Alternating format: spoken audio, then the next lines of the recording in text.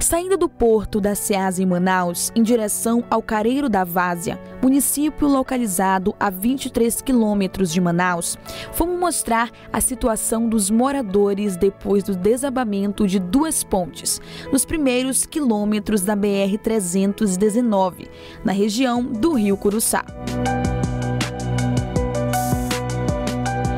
Criada durante a ditadura militar, a BR-319 surgiu com a proposta de integrar o Amazonas ao restante do país, mas sofre há décadas com a falta de estrutura para tráfego trechos da BR-319 interditada após a queda de duas pontes, uma no dia 28 de setembro e a outra no dia 8 de outubro. O transporte terrestre em Roraima e em parte do Amazonas está comprometido. A situação já prejudica o transporte de cargas, comprometendo o abastecimento de alimentos perecíveis, como carne e peixes e outros produtos. Confesso que chegar no nosso destino não está sendo nada fácil. Os veículos não conseguem chegar próximo ao desabamento.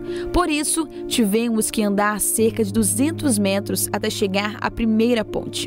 Foi na noite de sábado, dia 28 de setembro, que a primeira parte da estrutura desabou. A ponte acabou de cair naquele trecho ali, ó. No domingo, dia 8 de outubro, mais um trecho da ponte cedeu.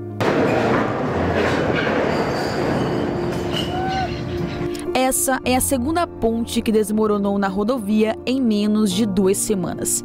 A primeira foi a que passava no rio Curuçá.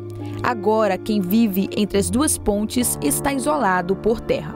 Nessa luta aqui na travessia aqui na BR-19, após esse incidente que houve, e para todos é, observarem como que é a luta de cada um dos moradores que reside aqui desse outro lado. Estamos aqui na travessia, graças a Deus a Defesa Civil deu um apoio aí na primeira ponte e agora estamos aguardando do outro lado para ver se esse mesmo serviço está sendo efetuado lá.